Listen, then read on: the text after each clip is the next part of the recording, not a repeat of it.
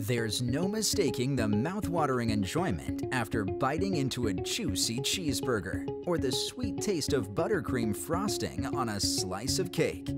There's a lot going on in our mouths when we eat, from smells, textures, and of course, taste.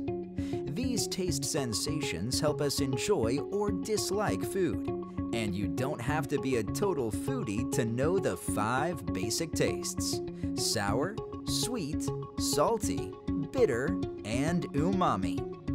Now, scientists are proposing that we add a new taste to the list. They may have discovered a sixth taste. Inside Science TV. What is the newest taste?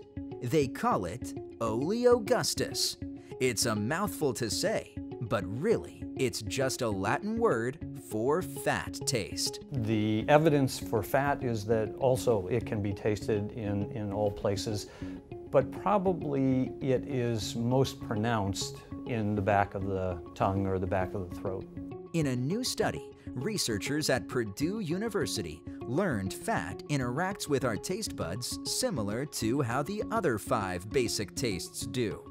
But they also learned that fat tastes different from everything else. Fats contribute strong odor, uh, they contribute mouthfeel or texture, and we are proposing that they also contribute a taste dimension. But don't let the idea of tasty fatty fries or a buttery melted grilled cheese fool you. The fat taste researchers are talking about isn't a good taste.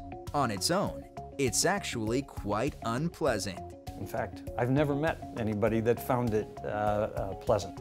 In studies, participants were given samples of sweet, sour, salty, bitter, umami, and fatty taste compounds and asked to sort them by taste. The fat taste was in a league of its own.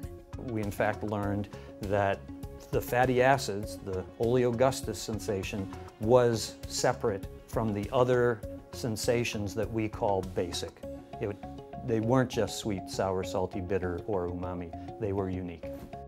Researchers say there could be other tastes still to be identified. There are suggestions that calcium taste may exist, that carbon dioxide is unique, that water is a unique taste sensation. So there are a number of other possible uh, primaries that, that people are exploring. The idea of adding fat as the sixth taste sensation may take some getting used to, but scientists believe it's on its way to being accepted. This is Inside Science TV. Inside Science TV. If you enjoyed this edition, follow us on the web and social media.